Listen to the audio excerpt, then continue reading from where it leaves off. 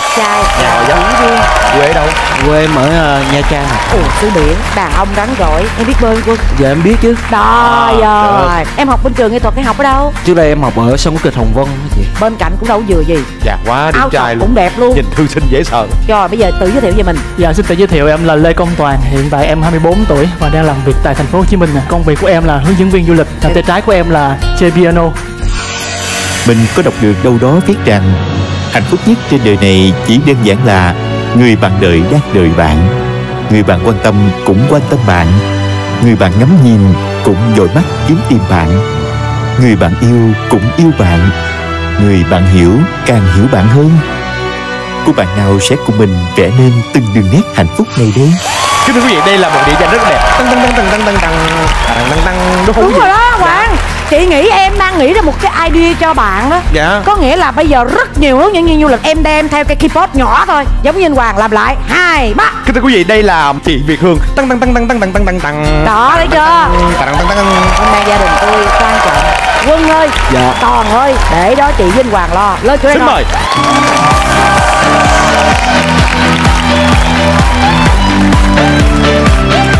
Đến với phần đầu tiên, Đi tìm tần số. Chờ đón xem, bốn người đẹp ngày hôm nay Sẽ cố gắng thể hiện mình ra sao Để chinh phục trái tim của hai chàng trai của chúng tôi. Và bây giờ sẽ là bóng dáng bí ẩn của bốn cô gái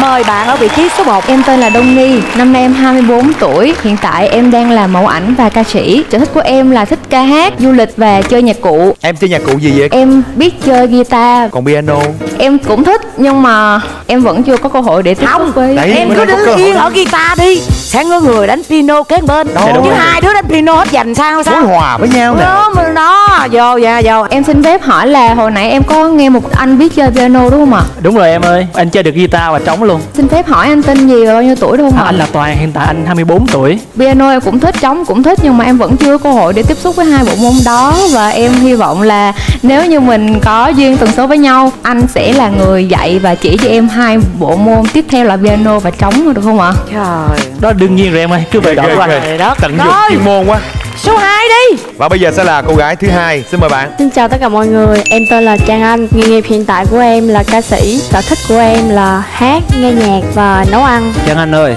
Dạ, bạn bao nhiêu tuổi à dạ em 24 tuổi rồi số 3 chị mời em giới thiệu? Dạ em tên là Kim My, hiện tại em là nhân viên văn phòng. Em cũng có đam mê nghệ thuật nên cũng hiện tại là diễn viên tự do luôn ạ. Em văn phòng về cái gì? Dạ telesale hả chị? bán qua điện thoại. Dạ biến không? Dạ vậy là mấy cô này khéo nói lắm. Vậy về mặt hàng nào? Khách hàng hỏi đưa sản phẩm nào thì tụi em sẽ gọi tư vấn giùm ạ. được luôn. Cảm ơn rồi bạn. mời bạn số 4 Dạ, xin chào tất cả mọi người. Em tên là Mỹ Quyên, năm nay em 22 tuổi. Hiện tại thì em đang là sinh viên năm cuối của trường Đại học Quốc tế Hồng Bàng. Sở thích của em là ăn ngon, mặc đẹp và đi du lịch khắp mọi nơi trên thế giới. Thí dụ bạn trai tương lai là ờ, hướng dẫn viên du lịch Rồi đi khắp mọi nơi rồi gặp gỡ biết bao nhiêu cô gái đẹp á Có ghen không? Mình cùng sở thích với nhau à, em cũng thích đi du lịch.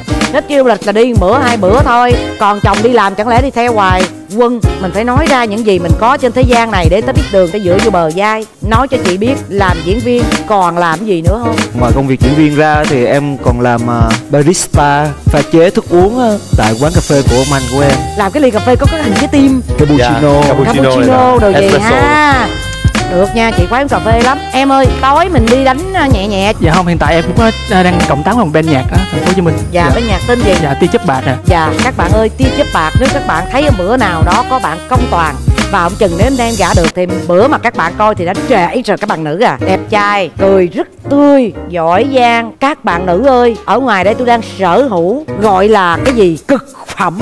Nghe bốn bạn tâm sự cảm giác ấn tượng với cái giọng nói nặng mời quân. Cái lỗ tai của em mà nghe bạn nào, nữ nào mà nói giọng bắc cái là em thấy Nghít ngây à? Thấy khoái lắm. Mình số 2 à? À ấn tượng với cái giọng nói của bạn số 2 toàn em cảm thấy an toàn với số mấy?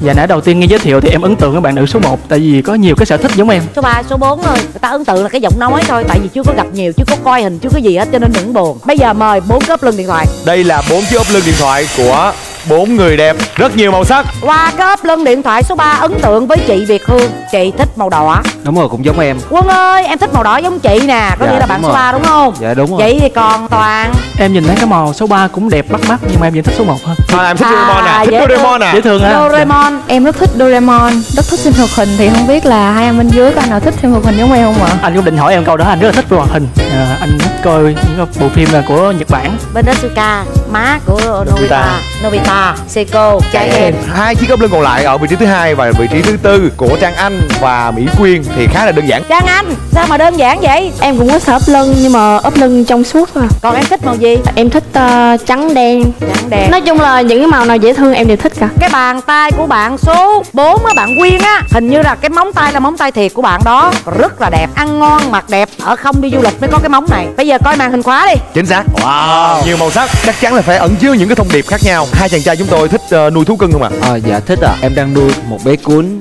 Bạn Toàn. Dạ, em hiện tại cũng thích nuôi chó luôn. Nhà em đang có hai con chó nhật. Em cũng thích nhưng mà con mèo em đang để trên hình nền á là em ờ, thấy nó bị bỏ rơi em đã lụm về và em em đã coi nó như là một ờ, thành viên gia đình em. Ôi cưng quá. Hồi đó em không thích mèo đâu nhưng mà sau khi em nuôi á em tiếp xúc với nó nhiều thì em thấy là tập tính của mèo nó có những cái đáng yêu rất đáng yêu luôn. Cô số 3 đeo cái sợi dây đẹp quá. Dạ của bạn em đi Thái Lan qua về tặng em à, à. bạn may mắn bạn tặng em đúng không? Dạ. dạ. ha mà bàn tay của em luôn hả? Dạ đúng bạn số 2 ơi cái hình đó là hình của em hả? Dạ hình trên mạng. Gương mặt cô gái này hơi buồn có thông điệp gì hay không? Ẩn chứa điều gì? Em thấy ờ, em cũng giống như cái hình ảnh này vậy. Không may mắn trong cái ờ, chuyện tình cảm. Hử.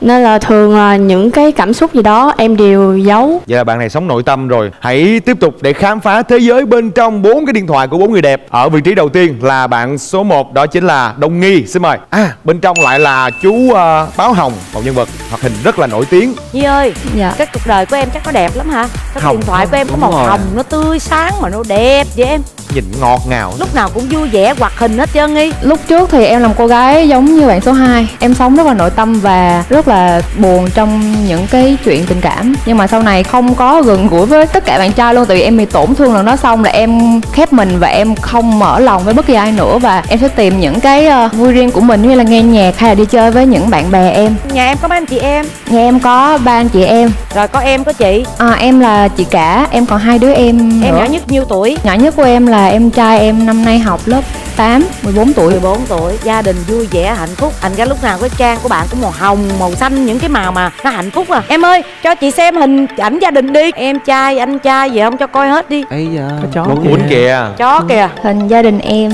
mẹ và bà ngoại. Đẹp quá. Đây là ba mẹ em. Ba nhìn còn phong độ lắm đâu ờ, cho em hỏi gia đình của hai ờ, bạn nam á là gia đình ờ, hai bạn mấy người vậy ạ? Và nếu có anh chị thì bạn là con thứ mấy trong gia đình đó ạ Mời Toàn. Ờ, gia đình anh hiện tại thì có hai anh em thôi. Anh là em út. Để em hỏi anh quân luôn được không? Ạ gia đình anh bao nhiêu người ạ? Gia đình anh bây giờ thì um, còn uh, ba má con hai em là con đầu. À em là con trưởng con là Dạ. lớn. Gì trắng trắng mà bông bông bông đẹp đó vậy em? Dạ đây là trà sữa hình con chuột. wow nhìn dễ thương quá. Bây giờ hỏi của bạn số 2 đi. Cảm ơn bạn số 1 ai vậy? Ờ, gương mặt bạn ở này bên làm ngoài, như à, cái lưng. nội tâm á. Hồi nãy cái bạn nữ xoay gương mặt buồn buồn bây giờ xoay lại còn có cái lưng. Cái ý nghĩa của em khi mà chọn một bức ảnh này nghĩa là đối với em á thì trong công việc, cuộc sống, gia đình, trên tình cảm có những cái điều buồn gì đó thì em thường không cho bất cứ ai biết cả. ba mẹ em có hạnh phúc không Ờ dạ không ạ. không hạnh phúc cho nên em buồn Dạ vâng. rồi thêm công việc nữa rồi tình cảm riêng của em nữa thành ra giờ em thành một cái cô gái quay lưng lại thắt bính rất là xinh đẹp chị nghĩ với em là một cái người nội tâm mà chỉ có mới 24 tuổi cho mình thêm cơ hội đi em Thật ra thì em đã không gần ba mẹ được lâu rồi. tại sao Bởi vì ba mẹ em đã ly dị lúc em đang học lớp 11 rồi bây giờ em ở với ba hay ở với mẹ? Dạ em sống một mình đã lâu rồi. Em không không không muốn là ai phải hỏi đến em là ba mẹ em như thế nào. Thật sự khi mà hỏi đến á, cảm xúc em rất là nhiều. Tại vì nhìn mọi người xung quanh ai cũng có ba mẹ cả.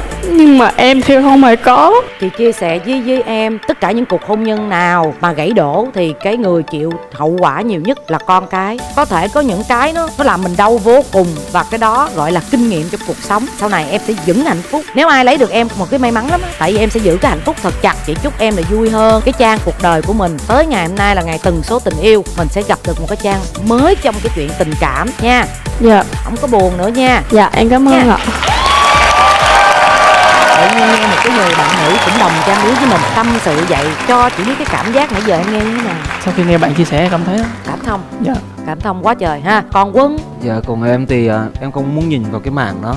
Tại vì là em cũng à, sinh ra trong một gia đình không có hạnh phúc cho lắm. Với lại em là cũng là một con người sống rất là nội tâm nữa Cho nên là em mà nhìn thấy con gái khóc á em thấy khó chịu trong người lắm. Trang Anh ơi quê ở đâu Trang Anh? Dạ em quê ở Cà Mau ạ Ồ gì là giọng miền Tây chứ hồi nãy em nghe lộn giọng Bắc ở đâu Giọng ta? Bắc hả à, Tại Cà vì Mau. ờ, có một cái thời gian em đi diễn ở miền Trung và miền Bắc rất là nhiều Nên là Dạ. em tiếp xúc với họ nhiều thì cái tiếng em cũng bị nhiễm nhiễm vậy á người cà mau dễ thương vô cùng đó nghe kể thấy dễ thương là muốn thương rồi. Thôi thì chàng qua số 3 đi. Số 3 ơi quê em ở đâu? Em ở thành phố Hồ Chí Minh luôn chị. Trời đơn là giản với toàn là gần gũi với toàn. Vô coi uh, nhạc coi thích cái uh, gu âm nhạc list cái gì âm nhạc của nè. bạn mỗi lần giải trí như thế nào nè? Dạ em không có tải nhạc. Không có tải nhạc vô coi hình nè trời ơi. Ơi Em bưng nguyên cái nhà hàng vô đây luôn hả My? Ủa My em nặng nhiêu ký? Em 46 kg 46 ký hà. Ăn không mập hả? Dạ đúng rồi em ăn hoài không có mập chị. Cái cao mét mấy nè. Em cao mét 62 sáu hai mới bốn sáu ký ấm nhắc à. Lý ta mà ăn quá chứ ăn. Kỳ vậy tôi đi ngang tôi hửi đồ ăn tôi cũng mập nữa. Bộ em thích nấu ăn lắm hả my? Dạ em chỉ thích ăn thôi chứ không không biết nấu. Em nấu được nhưng mà em nấu thì ít khi nấu lắm. Ở Em nhà nấu- là mẹ nấu hay là em nấu? Dạ bình thường là ở nhà mẹ nấu tại vì em ít có thời gian ở nhà lắm chị. Nhà đông anh em không my? Em còn hai đứa em.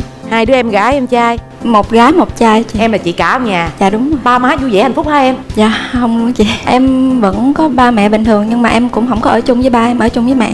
Nhưng mà có thăm ba đứa em không? Em với hai người em đó Ba em cũng ở bên bên nội lâu lâu ghé nhà một lần rồi đi. Rồi cảm ơn bạn. Và bây giờ chúng ta hãy khám phá điện thoại của cô gái cuối cùng ở thứ tư. Mời Bạn Quyên. Người thích ăn ngon mặt đẹp đây coi ăn gì Dạ đây là hình ảnh của em ạ. Sao hình nghĩa vụ không vậy? Dạ Quân em sự. đi em có đi ha, học nghĩa vụ quân sự một tuần với lại à, các bạn trung khóa hả. Giúp chồng thành công. Được Phải học Phải đọc những cuốn sách đó. Em thích nhất là đọc sách. Cô gái này thích đọc sách trau dồi kiến thức Ăn ngon mặc đẹp Ăn cái gì mà nhìn lạ quá tôi không biết Mì gói. Mì gói mì gói Hàn Quốc anh. Ăn ngon là phải nói với cô my còn nãy giờ cái cô bên này cô quyên ăn ngon cô đẩy tô mì gói thấy trật Dạ tại vì đôi lúc em ra nước ngoài á thì mình không có ăn hợp đồ ăn ở nước ngoài ạ. em làm nghề gì mà em hay đi nước ngoài? Đi nước ngoài là do sở thích riêng của em thôi ạ. À đi du lịch Đã dạ đúng rồi, đi du lịch cái chơi. kiểu không phải là đi travel nhưng mà mình đi du lịch tự túc á ạ. Đi để học hỏi thêm. đi một mình hay đi với ai Dạ có lúc em đi một mình, có lúc em đi chung với các bạn. bạn trai hay gái Gái cũng có và trai cũng có. tại sao trong cái đám trai đó không quen người mọi người tiếp xúc với nhau á chủ yếu là do kinh nghiệm học hỏi với lại bọn em cũng sợ là nếu như mà có một mối quan hệ nào đó thì sẽ mất đi cái tình bạn mà bây giờ mình cảm thấy rất là vui và rất là trân trọng cái mối quan hệ đó dạ giấy tờ gì quá trời chụp với em à, đây Hàn Quốc là nè dạ đúng rồi. Em có sở thích là em hay dùng các loại à, thực phẩm bổ trợ với lại à, mỹ phẩm của Hàn Quốc cho nên em mua rất là nhiều. Em ơi gia đình em ờ, còn gồm mấy người? Dạ gia đình của em bốn người ba mẹ em với lại em trai của em. Trai nhiêu tuổi rồi? Dạ em trai của em năm nay 19 tuổi á các bạn nghĩ như thế nào về một cô gái độc lập? Tính độc lập toàn có thích không? Anh thấy đó là một cái điểm tốt nha. Dạ Mà tại cô- em là người dân dẫn du lịch mà Dạ, đúng rồi, đúng rồi. dẫn viên cho nên thấy một cái cô nào mà đi trong hành trình của mình mà rất là độc lập thì khỏe. Anh cũng muốn hỏi em là nếu mà người yêu của em hoặc là chồng em sau này là một hướng dẫn viên du lịch em có chấp nhận được cái công việc mà họ luôn đi à, mấy ngày hoặc thậm chí cả tháng mới về hay không? Dạ vâng, bọn em rất là hay đi du lịch cho nên cũng thường tiếp xúc với những anh hướng dẫn viên du lịch. Nghe các anh trải lòng về cái công việc của các anh cũng như là của các chị thì rất là thấu hiểu ạ. Và bây giờ là thời khắc quan trọng đây là cái ấn tượng của bạn nam dành cho bạn nữ. Chị ngờ mời bạn Toàn trước đi. em thì cảm thấy bốn bạn nữ đều có những cái làm em thu hút nhưng mà em ấn tượng nhất chính là bạn số 1 Từ đầu tới giờ vẫn là số 1 Toàn xem chung thủy về Toàn. Mời đèn của số 1 bạn Đông Nghi. Chúc mừng Đông Nghi.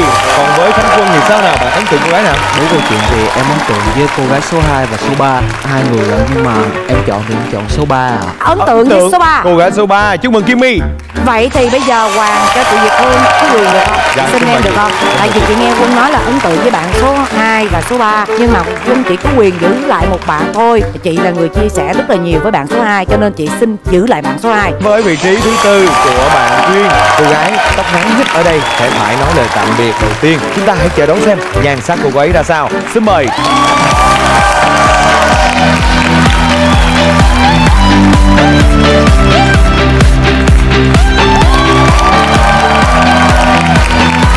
Đây, Mỹ Quyên, cô gái sống rất lạc quan.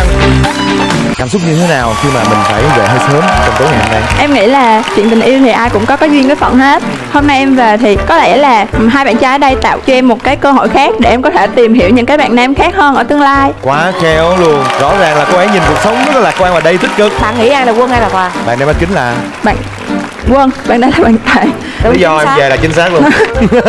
Cái giới thiệu của em rất là ấn tượng với chị và em đem lại cho chương trình năng lượng rất là tích cực. Không chọn thôi đây là cho tôi một cơ hội khác để các anh khác có thể Tìm đến tôi. Tìm được tôi. Dạ. đúng rồi. rồi cảm ơn quyên. Dạ, chào mọi người ạ